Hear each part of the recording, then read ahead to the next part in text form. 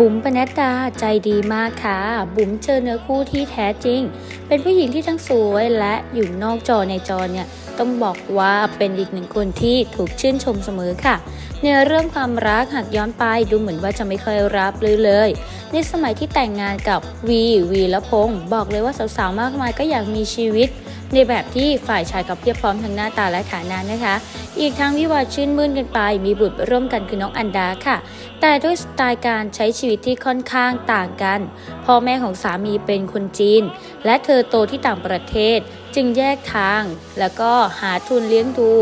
ก็แล้วแต่ว่าอีกฝ่ายจะให้เท่าไหร่หลังจากเป็นแม่ลิงเดี่ยวหลายปีก็เปิดใจให้กับแฟนหนุ่มรุ่นน้องอย่างเอกริน เหมือนจะกลับไปด้วยดีค่ะ สุดท้ายก็จบรักไปอีก ด้วยวัยและความไม่เข้าใจหลังจากโสด ไปไม่นานคราวนี้เปิดใจเป็นพ่อมาอย่างก๊อตอาทิตย์ ดีกรีนั้นไม่เบาเป็นถึงนักกีฬาทีมชาติ ประกวดเพาะกายอีกด้วย โดยทางด้านบุ๋มบรรดาก็เปิดใจถึงรักในคราวนี้ว่าแค่อยู่กินจดทะเบียนคงไม่แต่งรุ่นนี้คงรับแขกไม่ได้แล้ว พี่ก๊อตเองเจอครั้งแรกเพราะว่าเคยมีโอกาสได้สัมภาษณ์ ปัจจุบันทำอสังหาริมทรัพย์ เคยมีคนทักว่าได้เนื้อคู่ผิวเข้ม เคยมีภรรยามาก่อน ตั้งแต่ยัง 11 ขวบนั่นเลยนะ ตอนแรกไม่เชื่อเลย พอมาเจอคนนี้ แทบจะไม่อยากจะคิด เขาเน่ะปลื้มตนมานาน พอลองคบตามข่าวเลย ก็คือมอบที่ดินให้ ทางน้องอันดาค่อนข้างโอเค เพราะรู้จักในฐานะครูสอนมาก่อน